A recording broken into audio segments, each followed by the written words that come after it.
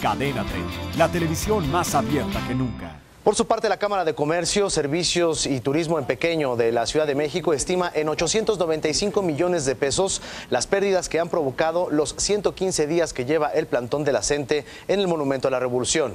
El presidente de este organismo, Gerardo López Becerra, dijo que durante este tiempo se entregaron 900 tarjetas de apoyo al desempleo. El gobierno de nuestra ciudad empezó este 2014 trayéndonos buenas noticias.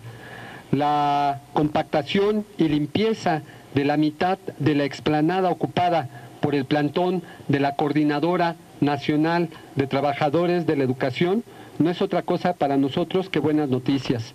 Ha sido, lo hemos tomado así, lo hemos comentado así, como eh, un regalo del Día de Reyes. Suscríbete a nuestro canal de YouTube para que siempre estés informado de las últimas noticias de México y el mundo. Empieza ahora mismo dándole clic a estos videos.